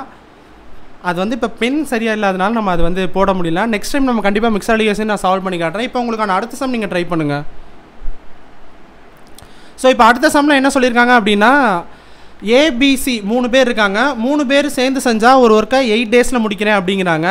இப்போ பிசி மட்டும் ஸ்டார்ட் பண்ணி B C started working together and A joined them after six days அப்படிங்கிறாங்க. அதாவது பிசி ஒர்க் பண்ணிகிட்டு இருக்காங்க. அவங்க ஆறு நாள் ஒர்க் பண்ணுறாங்க அதுக்கப்புறம் ஏ அவங்களோட ஜாயின் பண்ணுறான் ஸோ இப்போ ஏ ஜாயின் பண்ணி அதுக்கப்புறம் ஆறு நாளில் வந்து மொத்தம் ஒர்க்கு முடியுது. அதாவது பிசி ஆறு நாள் ஒர்க் பண்ணுறாங்க அதுக்கப்புறம் ஏ ஜாயின் ஆகிறான் இப்போ மூணு பேர் சேர்ந்து ரிமைனிங் ஒர்க்கு ஆறு நாளில் முடிக்கிறேன் அப்படிங்கிறாங்க. அப்படின்னா ஏ மட்டும் தனியாக பண்ணால் எவ்வளோ நாளில் முடிப்பாங்க? இதுதான் வந்து கொஷின் உங்களுக்கு. ஸோ இந்த சம்ம கூட நீங்கள் கரெக்டாக யோசிச்சிங்கன்னா பென் அண்ட் பேப்பர் எடுக்காமலே நம்ம சால்வ் பண்ணலாம். கண்டிப்பாக இந்த சமயம் நம்ம பென் அண்ட் பேப்பர் எடுக்காமல் சால்வ் பண்ணலாம். நீங்கள் ட்ரை பண்ணி ஆன்சர் சொல்லுங்கள் நான் கண்டிப்பாக அடுத்து எப்படின்னு நம்ம பார்க்கலாம். டுவெல் டுவெல் அப்படின்னு நிறைய பேர் ஆன்சர் போட ஆரம்பிச்சிருக்கீங்க. ஸோ டுவெல் சாண்டி சந்தியா அப்படின்னு போட்டிருக்கீங்க. சரண்யா டுவெல் போட்டிருக்கீங்க. டுவெல் டேஸ் புவி ஜீவா ஹேமலதா எல்லாருமே டுவெல் போட்டிருக்கீங்க. ஸோ ஆன்சர் பார்த்தீங்கன்னா கண்டிப்பாக டுவெல் தான். இனியன்.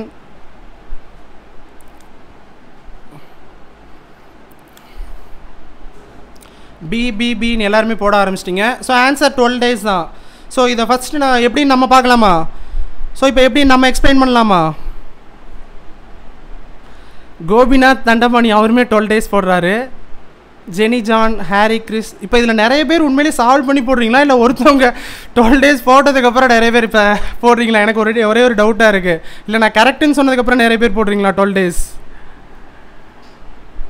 இதில் மட்டும் அந்த இமேஜ் ஆப்ஷன்லாம் ஆட் பண்ணுற மாதிரி இருந்தால் சால்வ் பண்ணுறதுக்கு காட்டுங்க அப்படின்னு கண்டிப்பாக சொல்லிடலாம் ஸோ இப்போ சரி நம்ம எப்படின்னு பார்க்கலாம். ஸோ இப்போ ஏபிசி மூணு பேர் எயிட் டேஸ் சொல்லியிருக்காங்க A plus B plus equal to eight டேஸா எனக்கே ஹேங் ஆகுது அங்கே இதோ. அப்புறம் தான் அப்படியா? எழுதி- பத்து நிமிஷம் கழிச்சு தான் எழுது இது என்ன வேர்த்து அப்படிதான் இருக்கு லீடு. எனக்கும் சேம் டவுட் ப்ரோ நான் உங்கள்கிட்ட தான் அது டவுட்டே கேட்டேன் Sanjeev bro A plus B plus C நமக்கு எயிட் டேஸ் செய்கிறாங்களா ஸோ இப்போ என்ன சொல்கிறாங்கன்னா பிசி ஆறு நாள். பி பி ப்ளஸ் சி ஆறு நாள் போட்டுரு. பி ப்ளஸ் சி ஆறு நாள் செய்கிறாங்க ஸோ இப்போ எகைன் ஏ இப்போ பி ப்ளஸ் சி ஆறு நாள் செஞ்சதுக்கப்புறம் மறுபடியும் ஏ ஜாயின் ஆகிறான் அப்புறம் வந்து A plus B plus C ஆறு நாள் ஜாயிடுறாங்க கீழே போயிடு கீழே எழுது ஆ அது எழுத மாட்டேங்குது. ரொம்ப கஷ்டமாக இருக்குது சீரியஸ்லி எப்படி தான் அவர் வந்து ஒன் ஹவர் ஒன்றரை மணி நேரம் லைவ் போகிறாருன்னு தெரில ஸோ இப்போ A plus B plus again ஒரு ஆறு நாள் எழுதுறாங்க வே- வே- அங்க பாரு.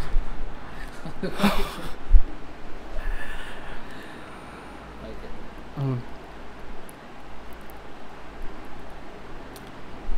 ஸோ இப்போ எழுதியிருக்கிறது புரிஞ்சிருக்கான் A plus B plus C தனியாக பண்ணால் எட்டு நாள் பி ப்ளஸ் சி ஆறு நாள் பண்ணுறாங்க ஸோ அதுக்கப்புறம் ஏ ஜாயின் ஆகி இப்போ இவங்க மூணு பேர் சேர்ந்து ரிமைனிங் ஒர்க்கு ஆறு நாள் முடிக்கிறாங்களா? ஸோ இப்போ நமக்கு நல்லா தெரியும் மூணு பேர் சேர்ந்தாங்கன்னா எட்டு நாளில் ஒரு ஒர்க்கை ஃபுல் ஒர்க்கை முடிப்பாங்க. அப்போ மூணு பேர் ஆறு நாள் ஒரு ஒர்க் பார்க்குறாங்கன்னா எவ்வளோ ஒர்க் பார்த்துருப்பாங்க seventy five percentage of the work பார்த்துருப்பாங்க அதாவது மூணு பேர் எட்டு நாளில் ஒரு ஒர்க் ஒர்க்கை முடிப்பாங்க அப்படின்னா ஆறு நாளில் எவ்வளோ work பார்த்துருப்பாங்கன்னா three by fourth of the work அப்போ seventy five percentage of the ஒர்க்கை இவங்க ஆறு நாள் பார்த்துருப்பாங்க ஸோ இங்கே ஹண்ட்ரட் பர்சன்டேஜ் மேலே.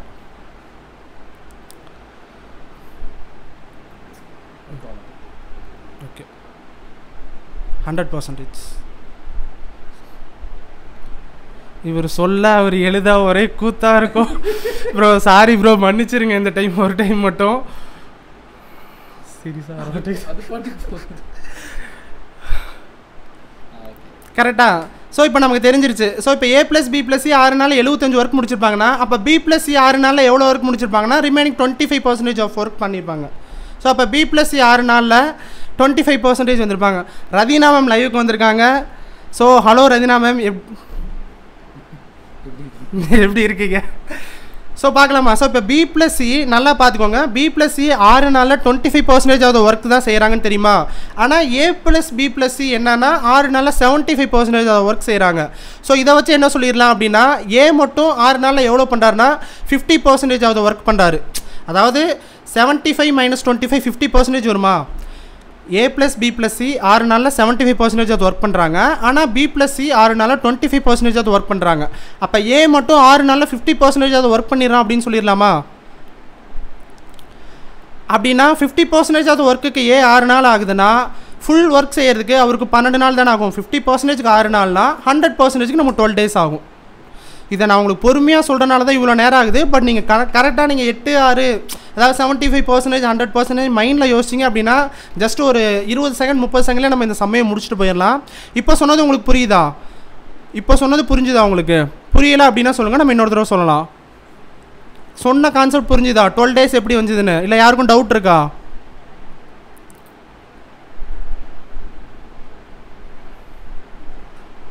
கிளியர் அப்படின்னு சொல்லிட்டீங்க.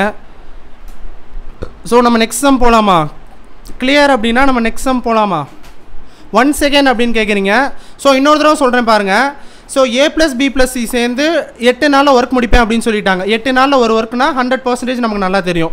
இப்போ என்னென்னா பிசி ஸ்டார்ட் பண்ணுறாங்க ஆறு நாள் ஒர்க் பண்ணதுக்கப்புறம் ஏ ஜாயின் ஆகுறான் அப்படிங்கிறாங்க. இப்போ இவங்க மூணு பேரும் ஆறு நாளில் டோட்டல் ஒர்க் முடி அதாவது ரிமைனிங் ஒர்க்கை முடிக்கிறேன் அப்படிங்கிறாங்க. கரெக்டாக ஸோ அப்படின்னா ஏ தனியாக பண்ணால் எவ்வளோ நேரம் ஆகும் அப்படின்னு கேட்குறாங்க நமக்கு நல்லா தெரியும் A plus B plus C எட்டு டேஸில் ஹண்ட்ரட் பர்சன்டேஜ் அப்படின்னு. அப்போ A plus B plus C last ஆறு நாளில் எவ்வளோ ஒர்க் பார்த்துருப்பாங்க? எட்டு நாளில் ஹண்ட்ரட் பர்சன்டேஜ்னா ஆறு நாளில் செவன்ட்டி ஃபைவ் பர்சன்டேஜ் அது ஒர்க்கு அப்போ பி ப்ளஸ் சி ஆறு நாளில் எவ்வளோ பார்த்துருப்பாங்கன்னா அந்த ரிமைனிங் இருக்க டுவெண்ட்டி ஃபைவ் பர்சன்டேஜ் தான் பி ப்ளஸ் சி பார்த்துருப்பாங்க. ஸோ அப்போ பி ப்ளஸ் சி ஆறு நாளில் டுவெண்ட்டி ஃபைவ் பர்சன்டேஜ் பார்க்குறாங்க அப்படின்னா ஏ வந்து ஆறு நாள் எவ்வளோ பார்த்துருப்பாரு? ஃபிஃப்டி பர்சன்டேஜ் அப்போ ஃபிஃப்டி பர்சன்டேஜ் ஆகுது ஒர்க்குக்கு ஆறு நாள்னா ஏ மட்டும் தனியாக ஹண்ட்ரட் பர்சன்டேஜ் ஒர்க் பண்ணால் எவ்வளோ நாள் வரும்னா நமக்கு டுவெல் டேஸ் வரும். ஸோ அதுதான் ஆன்சர் ஸோ உங்களுக்கான நெக்ஸ்ட் சம் பாருங்கள் நெக்ஸ்ட் சம் பார்த்தீங்க அப்படின்னா இது வந்து ஒரு ப்ராஃபிட் அண்ட் லாஸ் பேஸ் பண்ண சம் ஸோ இதுவுமே நீங்கள் ட்ரை பண்ணுங்கள் இந்த மாதிரி தான் வந்து இப்போ மெயின்ஸில் கேட்குறாங்க அதாவது என்னென்னா ஃபில்லப் பேஸ்டு சம் தான் இப்போ கேட்குறாங்க டூ மார்க் கொஷினாக கேட்குறாங்க பிஓ மெயின்ஸ்லலாம் கேட்குறாங்க ஸோ இந்த சம் நீங்கள் ட்ரை பண்ணுங்கள் இந்த சம்மே வந்து நம்ம கண்டிப்பாக ஆப்ஷனில் இருந்தே போகலாம் குவான்ஸுக்கு எந்த புக் பெஸ்ட்டாக இருக்கும் அப்படின்னு கேட்குறாங்க குவான்ஸுக்கு அப்படின்னு பார்த்தீங்கன்னா ராகேஷ் யாதவ் அவர் புக்கு நல்லாயிருக்கும் அந்த சாரோட புக்கு அது இல்லாமல் அப்படின்னு பார்த்தீங்கன்னா டெலகிராமில் பார்த்தீங்கன்னா நிறைய புக் மெட்டீரியல் இருக்கும். நீங்கள் சர்ச் பண்ணி பார்த்தீங்கனாலே கிடைக்கும். அப்படி இல்லை அப்படின்னாலுமே வந்து எனக்கு எனக்கு தெரிஞ்ச அப்படின்னா கண்டிப்பாக நம்ம நம்ம குரூப்பில் நான் ஷேர் பண்ணி விட்றேன். ஸோ இப்போ நீங்கள் எந்த சம் ட்ரை பண்ணுங்கள் profit and loss based sum try பண்ணுங்கள் எல்லாருமே.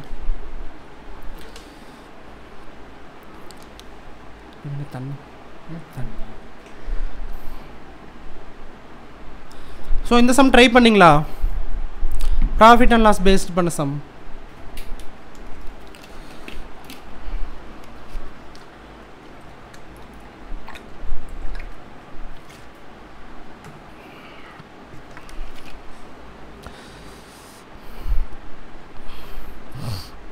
Pushpavalli ma'am happy to see sir ரொம்ப நாளாச்சு உங்களை பார்த்து. தேங்க்யூ மேம் நீங்கள் எப்படி இருக்கீங்க? ஸோ ரெண்டு பேர் வந்து பார்த்தீங்கன்னா ஆப்ஷன் சி அப்படின்னு போட்டிருக்காங்க. சஞ்சய் அண்ட் சலீம் கான் அப்படின்னு. சுரேஷ் சொல்லியிருக்காங்க சார் டெய்லி டீச் பண்ண வாங்க அப்படின்னு. கண்டிப்பாக இனிமேல் நம்ம சீக்கிரமாக அடிக்கடி வீடியோ போடலாம். ஸோ இந்த சம் நீங்கள் எல்லாருமே ட்ரை பண்ணுங்கள்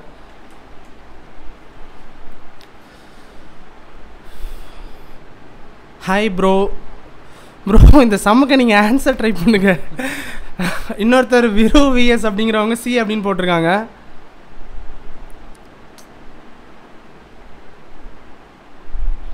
ஸோ நம்மளே சொல்லிடலாமா? ஆன்சர் வந்து பார்த்தீங்கன்னா இதுக்கு ஆப்ஷன் ஏ தான் வரும்.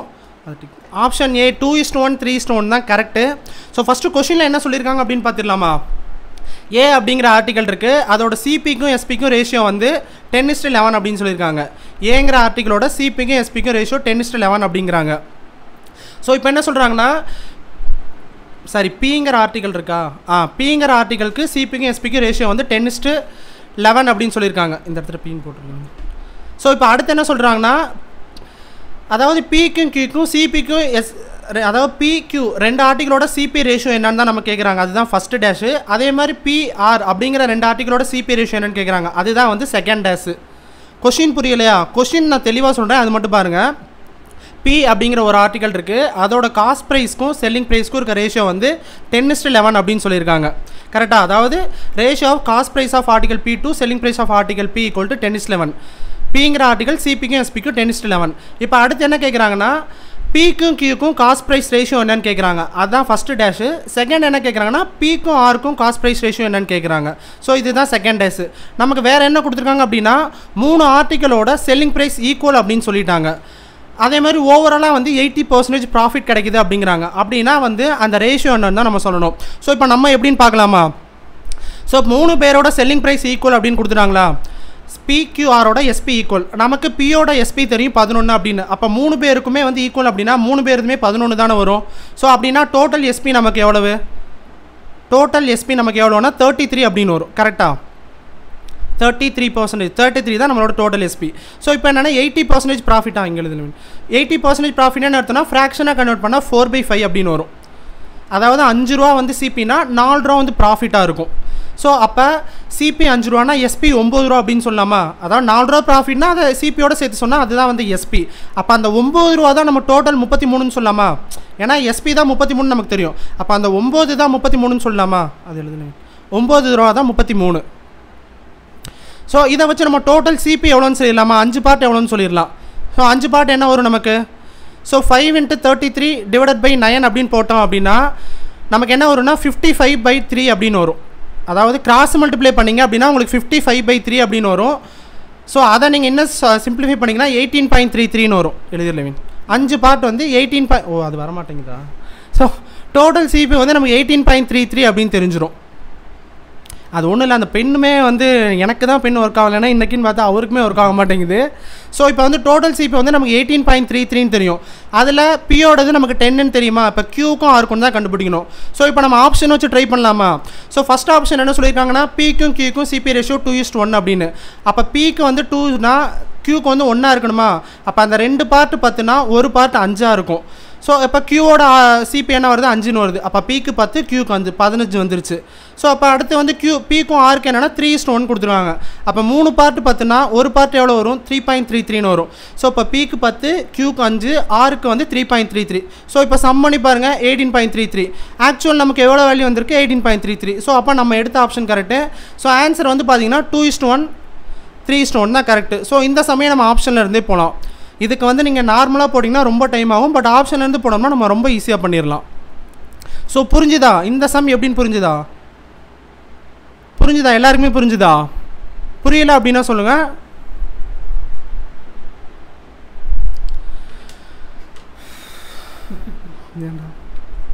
லாஸ்ட்டாக சொன்னது எகெயின் சொல்லுங்கள் அப்படிங்கிறாங்க.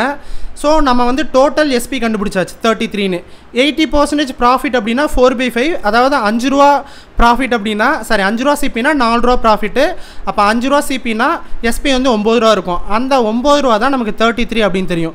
ஸோ அதை வச்சு டோட்டல் சிபி அஞ்சு ரூபாங்கிறது எப்படின்னு சொல்லிடலாமா? ஒம்பது ரூபா தான் முப்பத்தி மூணுனா அஞ்சு ரூபா எப்படின்னு சொல்லிடலாமா? கிராஸ் மல்டிப்ளை பண்ணால் நமக்கு five into thirty three divided by nine அப்படின்னு வரும்.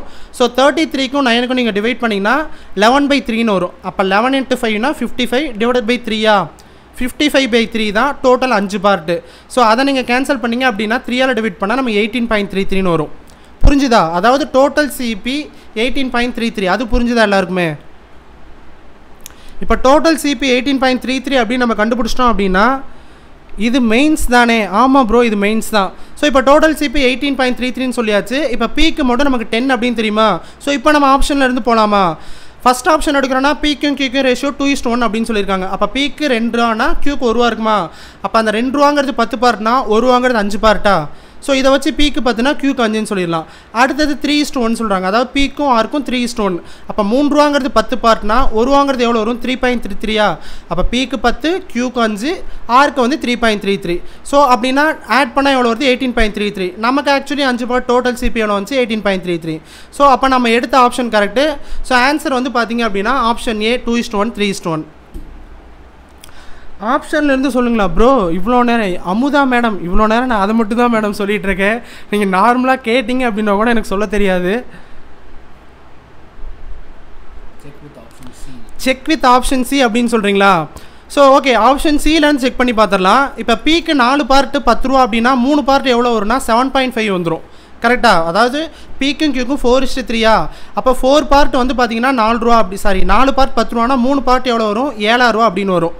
கரெக்டாக ஸோ அப்போ டோட்டல் பதினேழாயிரரூவா இங்கே வந்துருச்சு. அடுத்து என்ன? ஸோ ஆப்ஷன் டி சொன்னீங்களா? சி சொன்னீங்களா? சி தான். ஸோ அப்போ சிக்கு வந்து பிக்கும் அவருக்கு ஃபைவ் இஸ்ட்டு த்ரீன்னு சொல்லியிருக்காங்களா? அப்போ பிக்கு வந்து அஞ்சு பார்ட் பத்து ரூபா அப்படின்னா மூணு பார்ட் எவ்வளோ வரும்? ஆறு ரூபா வரும். அப்போ பத்து ரூபா கியூக்கு வந்து எவ்வளோ வந்துச்சு நமக்கு? ஏழே முக்கால் ஏழே கால் ரூபா வந்துச்சா? ஏழாயிரம் ரூபா வந்துச்சு. இப்போ இதுக்கு ஆறு ரூபா வருது. டோட்டல் பண்ணிங்கன்னா உங்களுக்கு எயிட்டீன் பாயிண்ட் த்ரீ த்ரீயோட வேறு வருது. ஸோ அதோட தாண்டி போகுது. ஸோ அப்போ நமக்கு அந்த ஆப்ஷன் வராது. ஆப்ஷன் ஏ மட்டும்தான் வரும்.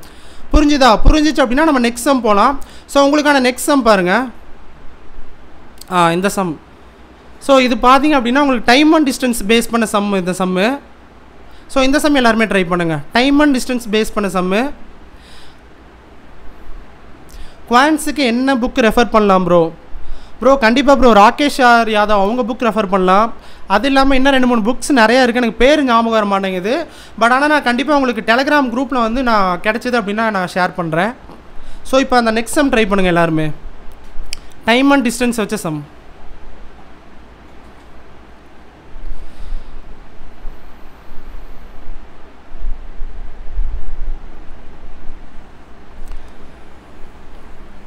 ஸோ இந்த சம் என்ன சொல்லியிருக்காங்கன்னு நான் ஃபஸ்ட்டு நான் கொஸ்டின் சொல்லிடுறேன். அப்புறம் நீங்கள் ட்ரை பண்ணுங்கள் so total 600 kilometre total journey அப்படிங்கிறாங்க. டோட்டல் டைம் நமக்கு எயிட் ஹவர்ஸ் அப்படின்னு கொடுத்துட்டாங்களா?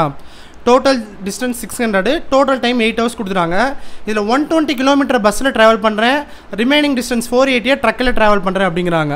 இப்போ வந்து இட் டேக்ஸ் டுவெண்ட்டி மினிட்ஸ் மோருங்கிறாங்க எப்போ அப்படின்னா இப்போ வந்து டூ ஹண்ட்ரட் கிலோமீட்டர் பஸ்ஸுலேயும் ரிமைனிங் இருக்க நானூறு ட்ரக்லேயும் ட்ராவல் பண்ணும்போது நமக்கு டுவெண்ட்டி மினிட்ஸ் மோர் ஆகுது அப்படிங்கிறாங்க. அப்படின்னா பஸ்ஸோட ஸ்பீடுக்கும் ட்ரக்கோட ஸ்பீடுக்கும் என்ன ரேஷியோ அப்படின்னு கேட்குறாங்க இன்னொரு தடவை கொஷின் சொல்கிறேன் புரியுதான்னு பாருங்கள் total distance six hundred total time eight hours இதில் வந்து ஒன் டுவெண்ட்டியை வந்து பஸ்ஸுலேயும் ஃபோர் எயிட்டியை வந்து ட்ரக்லேயும் போகிறாங்க ஆனால் இதே வந்து டூ ஹண்ட்ரட் பஸ்லையும் ஃபோர் ஹண்ட்ரட் டக்லையும் போனாங்கன்னா நமக்கு இருபது நிமிஷம் அதிகமாகுது அப்படின்னு சொல்கிறாங்க அப்படின்னா பஸ்ஸோட ஸ்பீடுக்கும் ட்ரக்கோட ஸ்பீடுக்கும் என்ன ரேஷியோ இருக்குன்னு கேட்குறாங்க ஸ்பீட் ரேஷியோ கேட்குறாங்க ஸோ உங்களுக்கான ஆப்ஷன்ஸ் இருக்குது நீங்கள் ட்ரை பண்ணுங்கள் ஃபஸ்ட்டு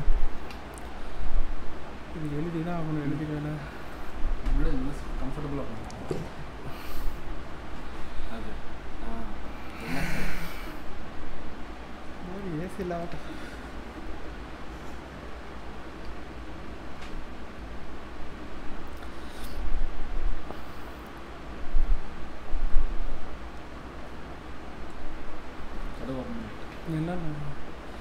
ஸோ இந்த சமயம் எத்தனை பேருக்கு ஆன்சர் வந்திருக்கு? இந்த சமயம் நம்ம ரேஷியோ கான்செப்டே போடலாம். இந்த செம்மை நம்ம ரேஷியோ கான்செப்டே போடலாம். அதாவது டிஸ்டன்ஸ் டைமு ஸ்பீடு மூணுக்கும் ஒரு ரேஷியோ இருக்கும் தெரியுமில்ல? அதாவது டிஸ்டன்ஸ் ஈக்குவலாக இருந்தால் ஸ்பீடும் டைமும் இன்வெர்ஸ் ரேஷியோ அதே மாதிரி வந்து பார்த்திங்கன்னா ஸ்பீடு கான்ஸ்டண்ட்டாக இருந்தால் டிஸ்டன்ஸும் டைமுக்கும் டைரக்ட்லி ப்ரொபோஷனல் அந்த ரேஷியோ ஸோ அதை வச்சு நம்ம போடலாம். ஸோ ரெண்டு பேர் ஆன்சர் சொல்லியிருக்காங்க ஒருத்தர் வந்து டி அப்படின்னு சொல்லியிருக்காங்க இன்னொருத்தவங்க வந்து C sorry D B B எல்லாருமே அதான் சொல்லியிருக்காங்க ஸோ கண்டிப்பாக ரெண்டு ஆப்ஷனுமே தப்பு தான் பியும் வராது டியுமே வராது நமக்கு. ஆப்ஷன் பி டி ரெண்டுமே ஒரே ஆப்ஷன் தான். நல்லா பார்த்தீங்க அப்படின்னா இது டூ இஸ்ட்டு த்ரீன்னு வச்சுருக்கேன் அது ஃபோர் இஸ்ட்டு சிக்ஸ்னு வச்சுருக்கேன். ரெண்டே கேன்சல் பண்ணால் ரெண்டுமே ஒரே ஆப்ஷன் தான். ஸோ ரெண்டுமே வராது நமக்கு.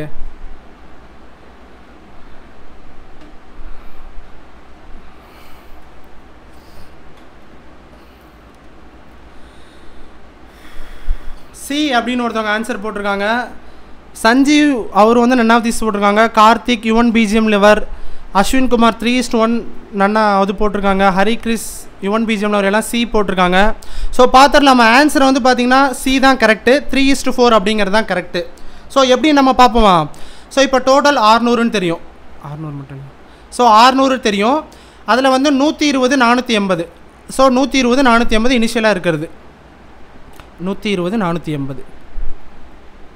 ஸோ இதுதான் வந்து இனிஷியலாக கொடுத்துருக்காங்க. இப்போ என்ன சொல்கிறாங்கன்னா இதில் வந்து இரநூறு போகுதுங்கிறாங்க. ட்ரக்கில் வந்து நானூறு போகுதுங்கிறாங்க. கரெக்டாக அப்படிங்கிற பட்சத்தில் டைம் இருபது நிமிஷம் அதிகமாகுது. ஸோ இனிஷியலாக வந்து ஆறு மணி நேரமா? அதை மினிட்ஸாக கன்வெர்ட் பண்ணால் என்ன வரும்னா நானூற்றி எண்பது நிமிஷம் வரும். இங்கே நானூற்றி எண்பது. இப்போ வந்து இருபது நிமிஷம் அதிகமாகுதுங்கிறாங்க. அப்போ ஐநூறு நிமிஷம் வரும். ஐநூறு நிமிஷம் வரும். புரிஞ்சுதா? இப்போ எழுதியிருக்க ஃபார்மேட் உங்களுக்கு புரியுதா? அதாவது இனிஷியலாக பஸ்ஸுக்கும் ட்ரக்குக்கும் ஒன் டுவெண்ட்டி ஃபோர் எயிட்டின்னு இருக்கும்போது நமக்கு சிக்ஸ் ஹவர்ஸ் அதான் வந்து ஃபோர் எயிட்டி மினிட்ஸ்னு போட்டிருக்கேன்.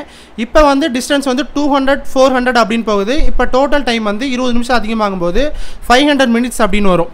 புரிஞ்சுதா? ஸோ இப்போ இங்கே இங்கே பாருங்கள் ஸ்பீடு வந்து கான்ஸ்டன்ட் தான். அதாவது பஸ்ஸுக்கு இனிஷியலாக என்ன இருந்துச்சோ அதே தான் இப்போ இருக்குது கரெக்டாக அப்போ ஸ்பீடு கான்ஸ்டண்ட்டாக இருக்கும்போது நமக்கு என்ன தெரியும்? டிஸ்டன்ஸும் டைமும் டைரக்ட்லி ப்ரொபோஷனல் அப்படின்னு. ஸ்பீடு கான்ஸ்டண்ட்டாக இருக்கும்போது டிஸ்டன்ஸும் டைமும் டேரக்ட்லி ப்ரொபோஷனல்னு ஸோ அப்போ டிஸ்டன்ஸ் என்ன ரேஷியோவில் இருக்குது அப்படின்னு பாருங்களேன்.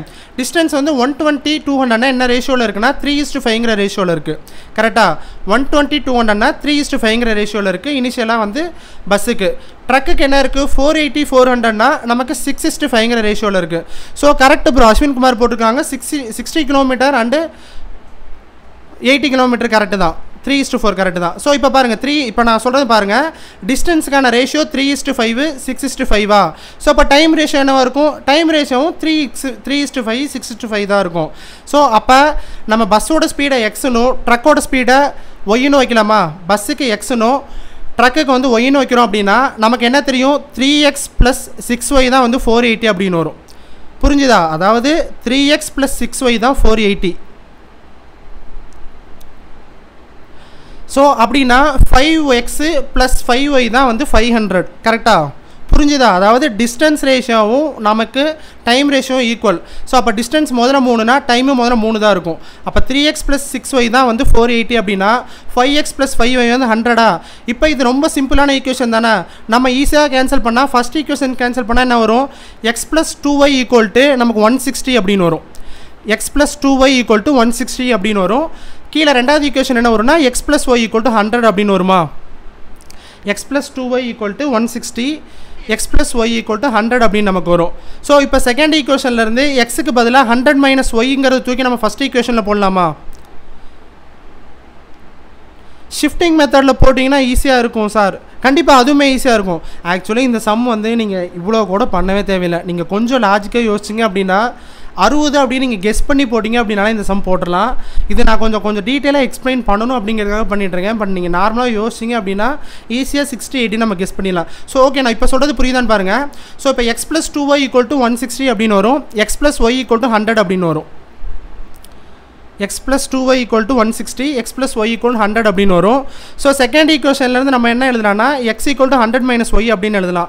ஸோ இதை வந்து நம்ம ஃபஸ்ட் ஈக்குவேஷனில் போடுறோம் அப்படின்னா hundred minus Y plus two Y equal to one sixty அப்படின்னு வரும். Hundred minus Y plus two Y equal to one sixty அப்படின்னு வரும். ஸோ இதிலேருந்து இடம் இல்லையா? ஓகே ஓகே இடம் இல்லை அப்படின்னா பரவாயில்ல. நான் சொல்கிறது மட்டும் புரியுது அப்படின்னு பாருங்க. அவ்வளோதான் hundred minus Y plus two Y equal to one sixty அப்படின்னா இதிலேருந்து நம்ம சொல்லிடலாமா? ஒய்யோட வேல்யூ வந்து சிக்ஸ்டி அப்படின்னு சொல்லிடலாம். கரெக்டாக ஒய்யோட வேல்யூ சிக்ஸ்டி அப்படின்னு சொல்லிட்டா சிக்ஸ்டி மினிட்ஸுங்கிறது எவ்வளோ நமக்கு ஒன் ஹவர்னு தெரியும். ஸோ இப்போ நமக்கு ஃபோர் எயிட்டின்னு தெரியும். அங்கே வந்து சிக்ஸ் ஒய் டைம் வச்சுருக்கோமா? அப்போ ஒய்ங்கிறது ஒன் ஹவர்னா ஆறுங்கிறது எவ்வளோ ஆறு மணி நேரம். ஸோ அப்போ ஃபோர் எயிட்டி கிலோமீட்டருக்கு ஆறு மணி நேரம் அப்படின்னா அதுலேருந்து ஸ்பீடு எவ்வளோ வரும்? எயிட்டி கிலோமீட்டர் பர் ஹவர்னு சொல்லிடலாம் ட்ரக்குக்கு ஸோ அப்போ ஆறு மணி நேரம் வந்து ட்ரக்கு போகுதுன்னா ரிமைனிங் ரெண்டு மணி நேரம் பஸ் போகும். ஸோ பஸ்ஸுக்கு வந்து நூற்றி இருபது மணி நேரம் ரெண்டு மணி நேரத்தில் போகுதுன்னா அப்போ அதோட ஸ்பீடு அறுபதாக இருக்குமா? ஸோ ஈஸியாக அறுபது எண்பதுனா நம்ம த்ரீ இஸ்ட்டு ஃபோர் அப்படின்னு சொல்லிடலாம். அவ்வளோதான் ஆனால் உண்மையிலே நம்ப முடியல. நான் சொல்லி கொடுத்து நான் சொல்கிறதுக்கு இடம் இல்லை அப்படின்னு சொல்கிறாங்க இவ்வளோ பெருசாக நான் எழுதி செய்யவே மாட்டேன். ஆனால் புரிஞ்சும் கண்டிப்பாக புரியும். Hundred minus Y plus two Y equal to one sixty அப்படின்னா அதுலேருந்து ஒய் ஈக்குவல் டு சிக்ஸ்டின்னு சொல்லிடலாம். சிக்ஸ்டி மினிட்ஸ்னால் நமக்கு ஒன் ஹவர் ஸோ அதை வச்சு நமக்கு வந்து ஃபஸ்ட் ஈக்குவேஷன்னாலும் சரி செகண்ட் ஈக்குவேஷன்னாலும் சரி. ஸோ இப்போ ஆறு மணி நேரம் நம்ம ஃபஸ்ட் ஈக்குவேஷன் எடுத்திருக்கோம் ஒய்க்கு ஸோ அப்போ நானூற்றி எண்பது ஆறு மணி நேரம்னா அதோட ஸ்பீடு வந்து எயிட்டி கிலோமீட்டர்ஸ் அப்படின்னு சொல்லிடலாம். ஸோ அப்போ கண்டிப்பாக பஸ்ஸு ரெண்டு மணி நேரம் போயிருக்கும். ரெண்டு மணி நேரத்துக்கு நூற்றி இருபதுனா ஒரு மணி நேரத்துக்கு அறுபது கிலோமீட்டர் ஸோ அப்போ அறுபது எண்பதுன்னு ஸ்பீடு தெரிஞ்சிருச்சுன்னா ரேஷியோ வந்து த்ரீ இஸ்டு ஃபோர்னு சொல்லிடலாம். ஸோ இந்த சம் புரிஞ்சுதா உங்களுக்கு? ஸோ இப்போ சொன்னது உங்களுக்கு புரிஞ்சிருச்சா இல்லையா? புரியலை அப்படின்னா சொல்லுங்கள் நான் இன்னொரு தடவை சொல்கிறேன் நெக்ஸ்ட் கொஷின் போகலாமா ஸோ நிறைய பேர் சொல்கிறாங்க நெக்ஸ்ட் கொஷின் போகலான்னு ஸோ நெக்ஸ்ட் கொஷின் பார்க்கலாம்.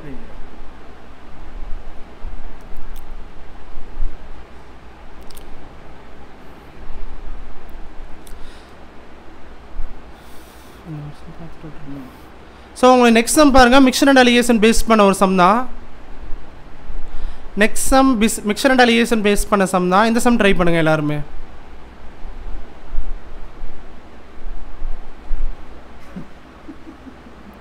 ஏண்ணா லெவின் சார் பி லைக் இடம் இல்லைப்பா. ஸோ இந்த சம் எல்லாருமே ட்ரை பண்ணுங்கள் நீங்கள் இந்த மாதிரி தான் மெயின்ஸில் எதிர்பார்க்கலாம். என்ன அப்படின்னா உங்களுக்கு நார்மலாக மெயின்ஸை பொறுத்தவரையும் ஒரு லாஜிக் மட்டும் புரிஞ்சுக்கோங்க. கால்குலேஷனாக தான் இருக்கும். கால்குலேட்டிவாக இருக்கும். மற்றபடி கான்செப்ட் நீங்கள் யோசிச்சிட்டிங்க அப்படின்னா கான்செப்ட் ரொம்ப சப்பையாக தான் இருக்கும். பட் கால்குலேஷன் நிறையா வர மாதிரி இருக்கும். ஸோ இந்த சம் ட்ரை பண்ணுங்கள் இந்த சம்மே பார்த்தீங்கன்னா நீங்கள் நார்மலாக போட்டிங்கன்னா கண்டிப்பாக சொல்ல உங்களுக்கு ரெண்டு நிமிஷத்துக்கு மேலே ஆகும். ஆனால் இதுக்கும் சில ஷார்ட்கட்லாம் இருக்குது நம்ம பார்க்கலாம். அப்படியெல்லாம் பார்த்தோம் அப்படின்னா இதை பார்த்தே சொல்லிட்டு போயிடலாம் இந்த சம்மு ஆனால் அதை நான் பார்த்தே சொல்கிற மாதிரி சொன்னால் சத்தியமாக உங்களுக்கு புரியாது. நான் ட்ரை பண்ணுறேன் இருந்தாலும். ட்ரை பண்ணுங்கள் எல்லாருமே.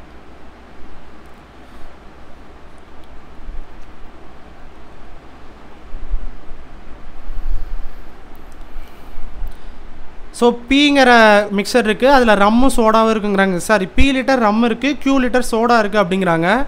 இதுலேருந்து தொண்ணூறு மிக்சரை வெளியே எடுத்துகிட்டு சோடாவை ஆட் பண்ணுறேன் அப்படிங்கிறாங்க. இப்போ ரேஷியோ வந்து ஃபைவ் இஸ்ட்டு செவன் ஆகுது. அதே தொண்ணூறு லிட்டருக்கு பதிலாக ஒன் எயிட்டி லிட்டரை எடுத்துகிட்டு நம்ம சோடாவை ஆட் பண்ணோம் அப்படின்னா ரேஷியோ வந்து ஃபைவ் இஸ்ட்டு தேர்ட்டினாக மாறுது அப்படிங்கிறாங்க. அப்படின்னா வந்து இனிஷியலாக இருந்தால் ரம்மோட குவான்டிட்டி எவ்வளோன்னு கேட்குறாங்க பி எவ்வளோன்னு.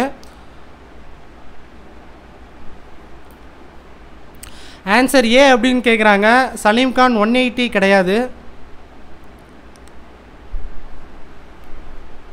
ஆன்சர் ஏவான்னு கேட்குறாங்க கண்டிப்பாக கிடையாது.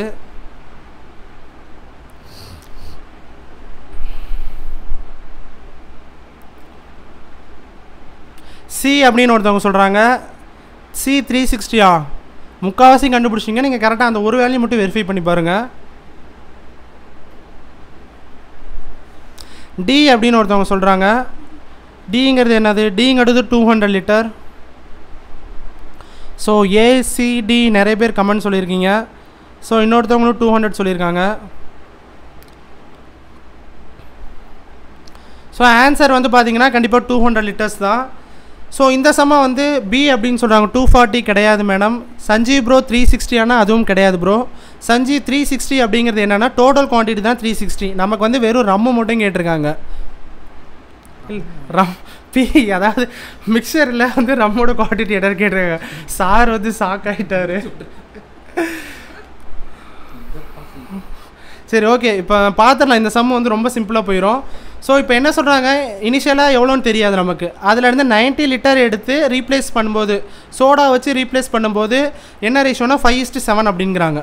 ஸோ நைன்ட்டின்னு ஒரு பக்கம் எழுதிக்க. இந்த பக்கம் ஃபைவ் இஸ்ட்டு செவன் ஸோ இப்போ என்ன சொல்கிறாங்க ஒன் எயிட்டியை எடுத்து எடுத்துகிட்டு ரீப்ளேஸ் பண்ணும்போது five is to thirteen அப்படிங்கிறாங்களா? Ninety not nineteen so one எயிட்டியா அவ்வளோதான் இந்த ரெண்டே ஸ்டெப்பு தான் உங்களுக்கு ஆன்சர் வந்துடும் பழக்க தோசத்தில் சொல்லிட்டீங்க போல். ஸோ ஒன் எயிட்டி பண்ணும்போது ஃபைவ் இஸ்ட்டு தேர்ட்டின் இங்கே என்ன எழுதியிருக்கேன்னு இப்போ புரியுதா? ஒன்றும் இல்லை இருக்கிறத எடுத்து எழுதியிருக்கேன் வேறு ஒன்றும் பண்ணல. 90 லிட்டர்ஸ் எடுத்து ரீப்ளேஸ் பண்ணும்போது five is to seventeen one eighty இப்போ எடுத்து பண்ணும்போது ஃபைவ் இஸ்ட்டு தேர்ட்டினா ஸோ இப்போ பாருங்கள் எவ்வளோ ரீப்ளேஸ் பண்ணுறதுக்கான ரேஷியோ எவ்வளவு? 90 one எயிட்டிக்கு ratio one is to two கரெக்டாக அதாவது நைன்ட்டிக்கும் ஒன் எயிட்டிக்கும் இருக்கக்கூடிய ரேஷியோ ஒன் இஸ்ட்டு டூவா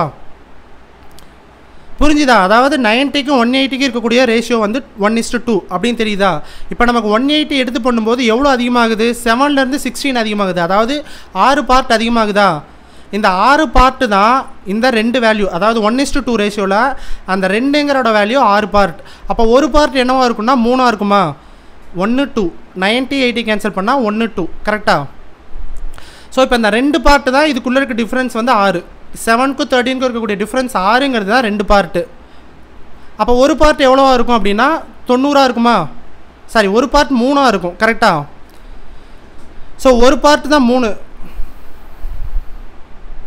அந்த மூணு பார்ட்டு தான் முப் தொண்ணூறு லிட்டர் நம்ம கொடுத்துருக்காங்க கரெக்டாக புரியுதான் இந்த ஒரு விஷயம் மட்டும் பாருங்கள் இது புரிஞ்சுதுன்னா செம்மை முடிஞ்சு இந்த ரெண்டு பார்ட்டு தான் ஆறு நமக்கு தெரியும். அப்போ ஒரு பார்ட்டுங்கிறது மூணு. இந்த ஒரு பார்ட் எவ்வளவு? 90 லிட்டர்ஸ்னு கொடுத்துருவாங்களா?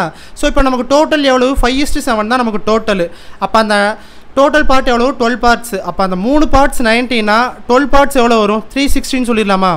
அதாவது ஒரு பார்ட் மூணு இந்த மூணு பார்ட்டுங்கிறது எதனாலனா அந்த 90 லிட்டர் ரீப்ளேஸ் பண்ணுறனால அந்த மூணு பார்ட்டு தான் நைன்ட்டினா டோட்டல் நமக்கு டுவெல் பார்ட்டாக ஃபைவ் ப்ளஸ் செவனு அப்போ டுவெல் பார்ட் எவ்வளோ வரும்னா த்ரீ சிக்ஸ்டின் வரும். ஸோ இப்போ டோட்டல் த்ரீ சிக்ஸ்டின் தெரிஞ்சிருச்சு.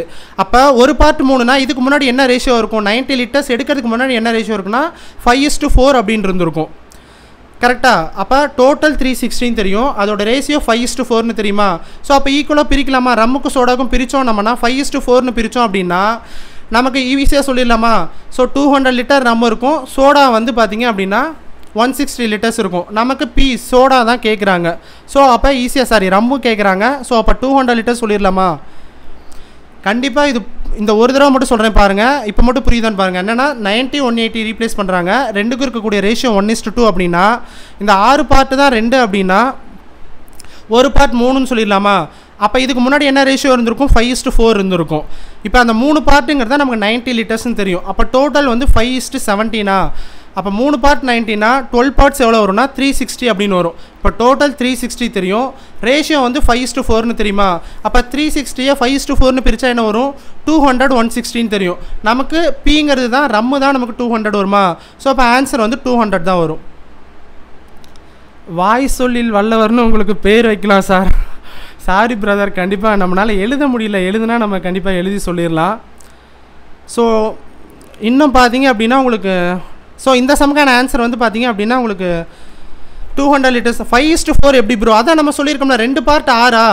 ஸோ அப்போ ஒரு பார்ட் மூணுன்னு தெரியும். அப்போ இதுக்கு முன்னாடி என்ன ரேஷியோ வந்திருக்கும்? ஃபைவ் இஸ்டு ஃபோர் இருந்தால் தானே நமக்கு ஒரு பார்ட் மூணுன்னு ஒரு ஃபைவ் இஸ்டு செவன் வர முடியும்.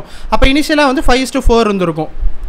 அதாவது five is to seven five is to தேர்ட்டின்னா ஆறு பார்ட் தான் நமக்கு தெரியும் ரெண்டுங்கிறது. ஒரு பார்ட் மூணா? அப்படின்னா ரெண்டுக்குள்ள டிஃப்ரென்ஸ் மூணு இருக்கணும். அப்போ ஃபைவ் இஸ்ட்டு ஃபோர் இருந்தால் தானே நமக்கு ஃபைவ் இஸ்ட்டு செவனுக்கு மூணு பார்ட் வரும். அப்போ initial ratio five is to four so அதை வச்சு பார்த்தீங்க அப்படின்னா உங்களுக்கு டோட்டல் குவான்டிட்டி த்ரீ சிக்ஸ்டி தெரியும். ஃபைவ் இஸ்ட்டு ஃபோர்னு பிரித்தா டூ ஹண்ட்ரட் அப்படின்னு தெரியும். ஸோ புரிஞ்சுதா?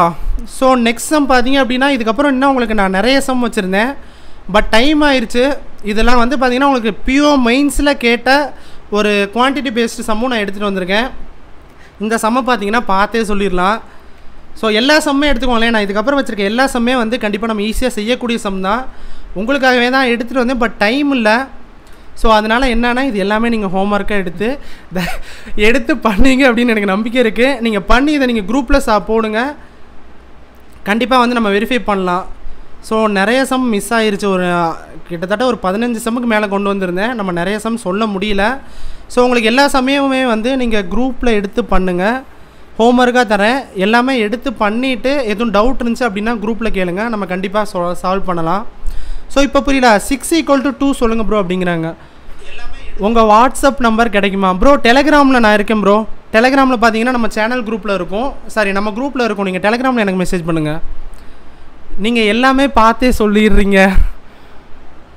ரோஷி கெயின்ஸ் அப்படிங்க ரோஷினி கெயின்ஸ் அப்படின்னு சொல்கிறாங்க பார்த்தே சொல்லிடுறேன் அப்படின்னா அது பழகிருச்சு அப்படியே. வேறு ஒன்றும் இல்லை.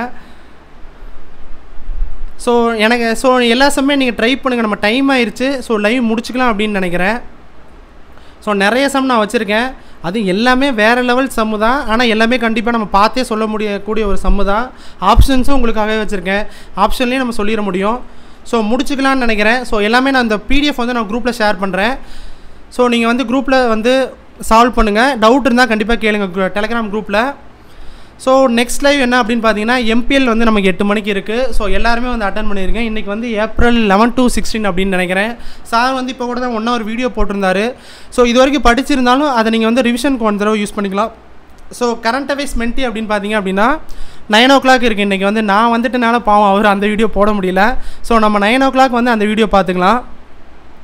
ஸோ முடிச்சிடலாமா?